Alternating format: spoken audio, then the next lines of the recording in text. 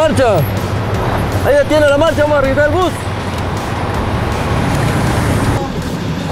Joven, no molestar que descendamos del bus, por favor, lo vamos a registrar. Solo voy a un registro de rutina, caballero, por favor, muy amable.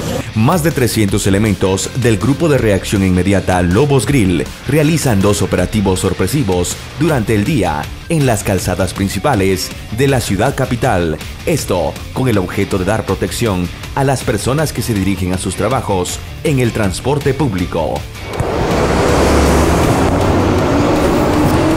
Ahí te la van a pedir su documento. El grupo de reacción inmediata Lobos, somos una unidad élite motorizada.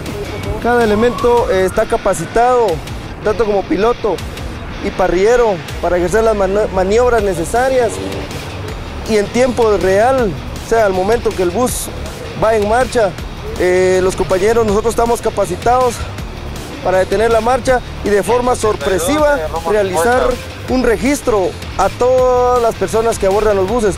Esto con el fin de que si alguna persona va armada, eh, nosotros lo identificamos, lo identificamos y dependiendo del ilícito que lleve, es llevado de una vez a la torre de tribunales.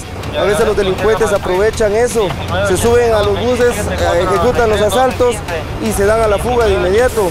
Pero nosotros con la facilidad que tenemos al movilizarnos en las motos, eh, interceptamos cualquier bus al azar entre las calzadas principales se encuentran el Atlántico, Carretera El Salvador, Calzada San Juan y Calzada Roosevelt, además del apoyo que requieran de las diferentes comisarías del país para contrarrestar la delincuencia común. Entre las acciones que se realizan en los operativos son el registro de personas, vehículos y autobuses, los cuales se llevan a cabo de forma simultánea en los cuatro puntos mencionados, donde se despliega a los agentes de una forma rotativa.